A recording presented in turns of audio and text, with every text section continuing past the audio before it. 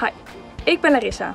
Ik ben eerstejaars student aan de opleiding Handhaving, Toezicht en Veiligheid aan het Alpha College in Hogeveen. Waarom heb ik voor deze opleiding gekozen? Ik vind het leuk om met mensen in contact te zijn en ik wil graag een steentje bijdragen aan de veiligheid op straat.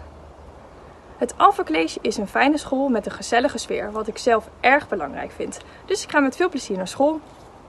De opleiding is erg breed, dus je kan verschillende kanten op. Ook de theorie en de sportlessen zijn voorbereidend voor in de praktijk. Dus ben jij sportief? Heb jij een gedreven houding? En heb jij een positieve inzet?